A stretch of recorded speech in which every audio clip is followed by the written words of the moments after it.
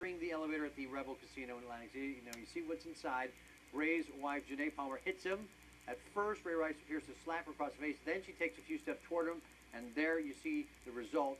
She hits her head on that elevator wall after a left hook, and she is out cold. In fact, in the video, you see she is unconscious for at least a minute as she dra- is dragged out of the elevator onto the floor outside the elevator